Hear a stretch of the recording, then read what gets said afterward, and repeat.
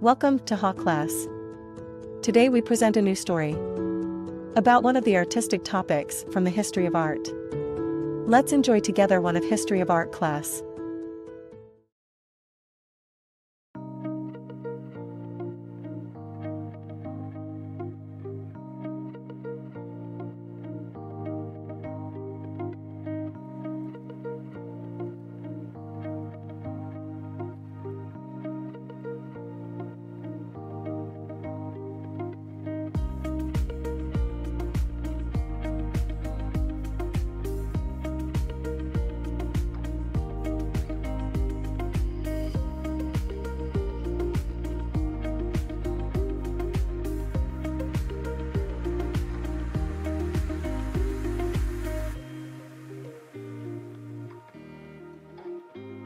In 1805, Muhammad Ali possessed the title of governor of Egypt.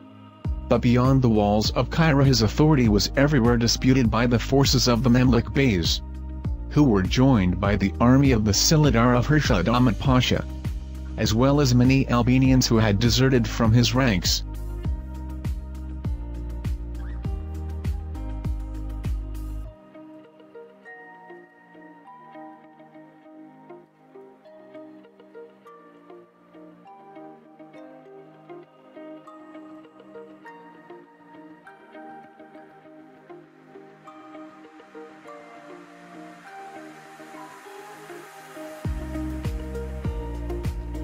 A plan was soon conceived to destroy the Mamluk Beys encamped north of Cairo.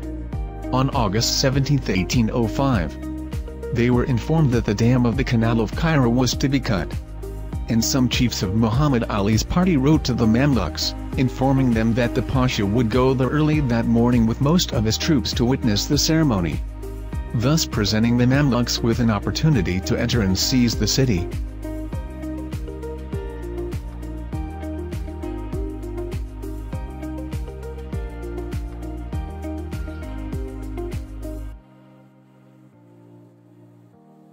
The dam, however, had been cut early in the preceding night.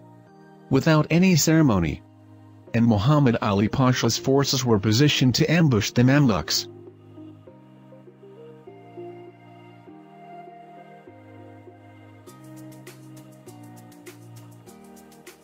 On the following morning, the Mamluk Beys, at the head of sizable forces, broke open the gate of the suburb Al-Husayniya, and gained admittance into the city from the north through the gate called Bab el-Futuh.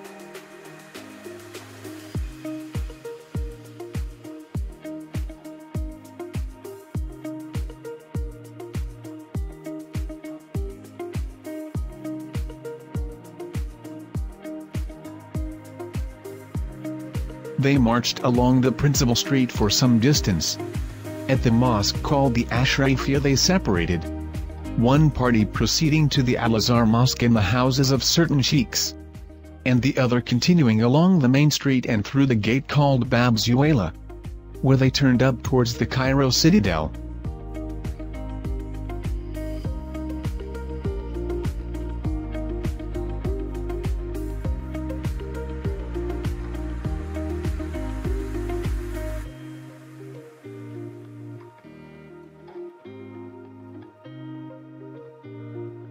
Here they were fired upon from the surrounding houses by forces loyal to Muhammad Ali Pasha.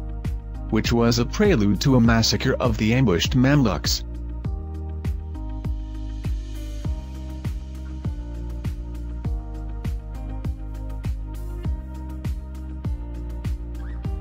Falling back towards their companions. The Mamluks found the side streets blocked and in that part of the main thoroughfare called Bin al-Qasrain they were caught between two fires. Thus shut up in a narrow street. Some sought refuge in the collegiate mosque Barkukya, while the remainder fought their way through the encircling cordon, abandoned their horses, and escaped over the city wall on foot.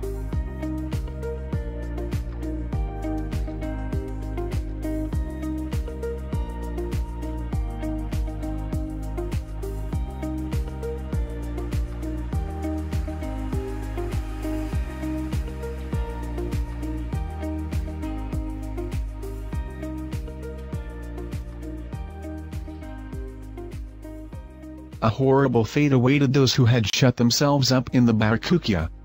Having begged for quarter first and surrendered, they were immediately stripped nearly naked. And about 50 were slaughtered on the spot. While about the same number were dragged away.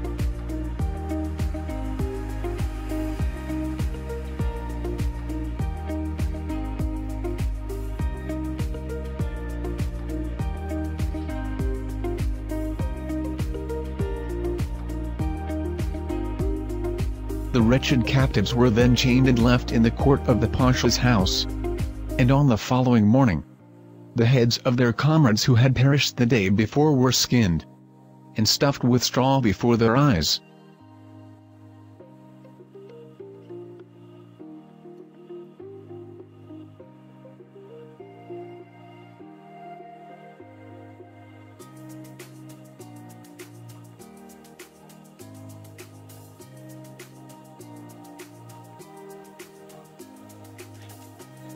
كان محمد علي صاحب مشروع كبير لإصلاح مصر والنهضة بها كما اتسمت فترة حكمه بسياسة انفتاحية تجاه أوروبا خاصة فرنسا.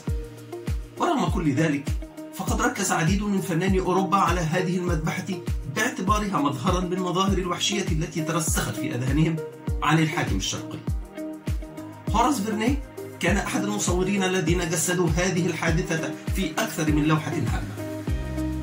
جاء بعضها ليركز على مزيج من السلطة والسادية التي تتبدى في نظرات محمد علي بينما يراقب ضحاياه. صورة طالما تكررت ضمن مفاهيم استشراقية تقليدية حول الإنسان الشرقي، ولا زالت تمثل حاجزا يحول دون استيعاب الآخر وتعايش الثقافات المختلفة.